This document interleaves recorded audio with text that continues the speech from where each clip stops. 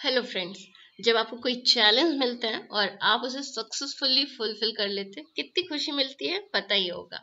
ये लीची का पेड़ जिसपे आप अभी बहुत सारे फ्रूट्स देख रहे हैं इसमें पिछले पाँच से छह साल से फ्रूट्स नहीं लग रहे थे फ्लावर्स आ भी रहे थे तो वो झड़ जा रहे थे।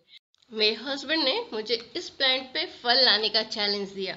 चैलेंज एक्सेप्ट किया और ये देखिए आपके सामने रिज़ल्ट फ्रेंड्स इस वीडियो में हम आगे देखेंगे किन रीजंस के कारण आपके फल के पेड़ पे फल नहीं लग रहे फ्लावर्स आ रहे तो झड़ जा रहे हैं या फ्रूट्स छोटे में ही झड़ जा रहे हैं। वीडियो पूरा देखिएगा ताकि आपको सारी इंफॉर्मेशन मिले। लीची के डिटेल फर्टिलाइज़र और वाटरिंग शेड्यूल पे भी हम बात करेंगे। चलिए फिर शुरू करते हैं। सबसे पहले बात करते हैं रीजंस क्या क्या हो सकता है फल नहीं लगने का। सबसे पहला रीजन अगर आपने अपना पौधा बीज से उगाया हुआ है मैक्सिमम पॉसिबिलिटी होती है कि फल बहुत कम आए या नहीं आए, या तो अच्छे क्वालिटी के ना हो। इसलिए अगर आपको आपके गार्डन में कोई फ्रूट ट्री ऐड करना है और आपको बहुत सारे फ्रूट्स चाहिए तो आप नर्सरी से कोई अच्छी वैरायटी का ग्राफ्टेड प्लांट या कटिंग या एयर लेयरिंग से ग्रो किया हुआ फ्रूट प्लांट ही लेकर आइए। मैं इस लीची के पेड़ को बस एक डेढ़ साल से ही देख रही हूँ, इसलिए मैंने पहले पता लगाया, इसमें पहले कभी फ्रूट आया है या नहीं। पूछने में पता चला इसमें पहले कई सारे फ्रूट्स आते थे, बस छह साल से ही फ्रूट नहीं आ रहे। इससे मुझे ये तो पता चल गया कि ये प्लांट अच्छी वैरायटी का है और इसमें फ्रूट आ सकते हैं। दूसरा काफ़ी इंपॉर्टेंट रीजन हो सकता है, किसी भी तरह के डिज़ीज़ और इंसेक्ट की वजह से या बहुत ज़्यादा ड्राई पीरियड की वजह से प्लांट का स्ट्रेस में होना। करीब दो साल पहले काफ़ी ज़्यादा गर्मी हुई थी और बारिश भी बहुत कम हुई थी। इसकी वजह से दोनों प्लांट को बहुत ज़्यादा मॉइस्चर स्ट्रेस हुआ था। जिस प्लांट पे फ्रूट है, वो प्लांट थोड़ा वेल के पास कुएँ के पास है। इस वजह से वो थोड़ा मॉइस्ट रहा और बच गया। और उससे थोड़ी दूरी पे ये वाला प्लांट कम्प्लीटली ड्राई हो गया था। इसके टॉप को हटा दिया गया है और नीचे से अब साइड ब्रांचेस निकल रहे हैं। इसे इस बार सिर्फ़ अच्छे से ग्रो होने के लिए केबल कंपोस्ट और नाइट्रोजन वाला फर्टिलाइज़र दिया गया है ताकि सिर्फ़ इसके पत्ते और ब्रांचेज अच्छे से ग्रो हो प्लांट अच्छा हेल्दी हो जाए और उसके बाद अगले साल से इससे फल लिए जाएँगे।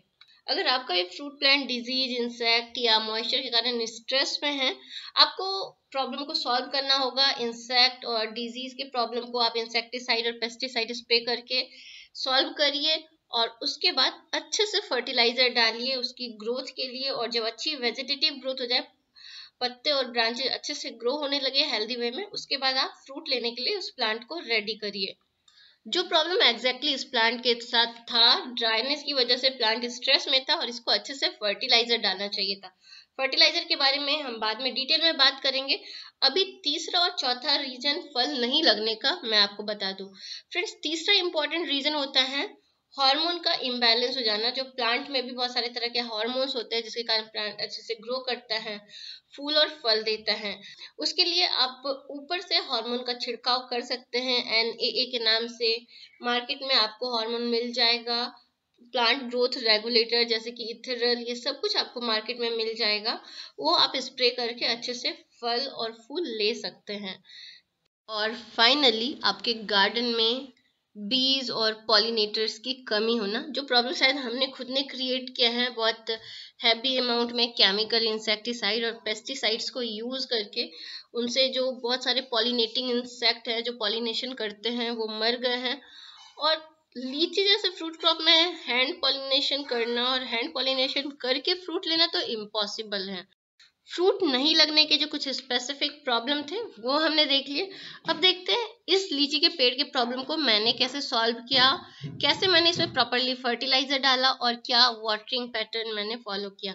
फ्रेंड्स कभी भी जब आप फल के पौधे फल के पेड़ ग्रो करते हैं, उसमें सबसे इंपॉर्टेंट फर्टिलाइज़र होता है फार्म यार्ड मैन्यूर जिसे आप कंपोस्ट या वर्मी कंपोस्ट जिसमें आप रख सकते हैं, वो सबसे इंपॉर्टेंट फर्टिलाइज़र है क्योंकि उसमें नाइट्रोजन फॉस्फोरस पोटेशियम के साथ बहुत सारे माइक्रो न्यूट्रिएंट्स भी होते हैं और साथ में बहुत सारे अच्छे माइक्रो ऑर्गेनिज्म भी। आपके पास कोई भी बड़ा फ्रूट ट्री हो, उसमें दो बार आप कंपोस्ट ज़रूर डालिए, एक बार जब फूल आने वाला रहता है तब और एक बार हार्वेस्ट करने के बाद। जनवरी के एंड में जब फ्लावर आना स्टार्ट होता है, इसमें मैंने पाँच से आठ के के आसपास कंपोस्ट डाला। आपको फर्टिलाइज़र हमेशा ही प्लांट के अराउंड एक रिंग बनाकर देना है और फर्टिलाइज़र को डालने के बाद अच्छे से सॉइल में इनकॉर्पोरेट कर देना है। कंपोस्ट के साथ आपको पोटेशियम के लिए पोटास डालना है 30 से 40 ग्राम। पोटास के नाम से आपको मार्केट में आसानी से मिल जाएगा किसी भी एग्रीकल्चर स्टोर पे। पोटास या एमओपी भी कहते हैं इसे म्यूरिएट ऑफ़ पोटाश इसमें 60 परसेंट पोटेशियम होता है। काफ़ी अच्छा फर्टिलाइज़र है ये पोटेशियम की डेफिशिएंसी को पूरा करने के लिए। पोटेशियम प्लांट को एक स्ट्रेंथ देता है, मजबूती देता है और इससे फल और फूल का झड़ना भी कम हो जाता है। ज़्यादा फ्लावर इनिशिएट करने के लिए आपको फॉस्फोरस डालना है। फॉस्फोरस के लिए आपके पास दो ऑप्शन है। या तो आप एसएसपी यूज़ कर सकते हैं। एसएसपी में सिर्फ़ फॉस्फोरस होता है सिक्सटीन परसेंट या डीएपी यूज़ कर सकते हैं। डीएपी में नाइट्रोजन और फॉस्फोरस दोनों होता है। मैं एसएसपी जनरली यूज़ करती हूँ। नाइट्रोजन के लिए अलग से यूरिया हम डाल सकते हैं। एसएसपी भी 30 से 40 ग्राम ही डालना है। अगर आप फॉस्फोरस के लिए डीएपी यूज़ कर रहे हैं तो उसे आप बस 15 से 20 ग्राम डालिए। और साथ में कुछ भी नाइट्रोजन फर्टिलाइज़र नहीं डालिए। अगर आपने एसएसपी डाला है 30 से 40 ग्राम तो साथ में आप यूरिया 20 ग्राम के आसपास डाल दीजिए प्लांट के नाइट्रोजन के रिक्वायरमेंट को पूरा करने के लिए। यूरिया प्योर वाइट कलर में आता है, शायद बहुत ही कॉमन फर्टिलाइज़र है, आप सब लोग पहचानते ही होंगे।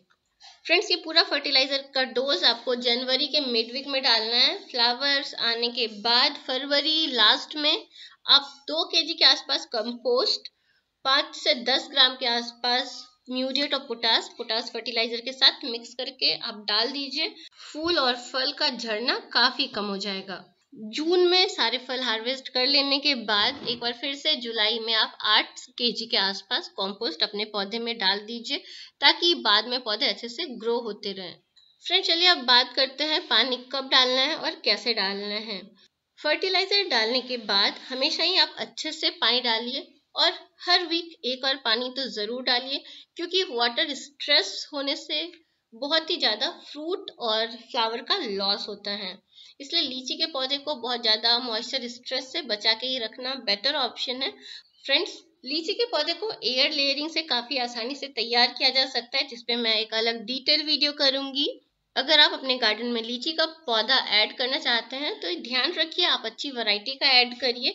इस प्लांट को मैंने नहीं लगाया था, इसलिए मैं वैरायटी के लिए पहले श्योर नहीं थी, लेकिन अब फ्रूट का कलर और फ्रूट पैटर्न देखने के बाद मुझे लगता है कि ये चाइना लीची की वैरायटी है।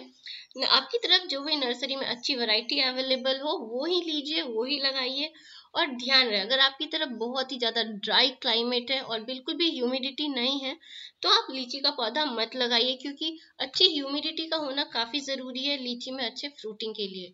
आशा करती हूँ मेरा ये वीडियो आपको लीची का पौधा और भी कई सारे अलग फ्रूट क्रॉप ग्रो करने में मदद करेगा।